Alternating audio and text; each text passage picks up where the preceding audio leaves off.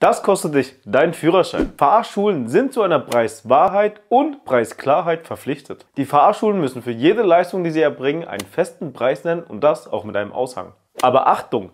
Jede Fahrschule kann seine eigenen Preise festsetzen. Je nachdem, wie viele Fahrstunden oder Sonderfahrten du benötigst, kann der Preis deutlich variieren. Und Großstadtfahrschulen sind in der Regel deutlich teurer als die auf dem Land. Diese Kosten kommen auf jeden Fall auf alle Fahrschüler zu. Grundgebühr der Fahrschule zwischen 350 und 500 Euro. Fahrstunden und Sonderfahrten jeweils zwischen 55 und 70 Euro. Das Lernmaterial kostet zwischen 90 und 120 Euro. Die theoretische Prüfung zwischen 83 und 93 Euro. Und die praktische Prüfung zwischen 270 und 380 Euro. Und die Gebühren für den Führerscheinantrag liegen zwischen 40 und 70 Euro. Sehtest Passfoto und Erste-Hilfe-Kurs zwischen 45 und 85 Euro. Das heißt, man kommt im Durchschnitt auf einen Preis von 2650 Euro. Was hast du für deinen Führerschein bezahlt? Schreib es uns in die Kommentare.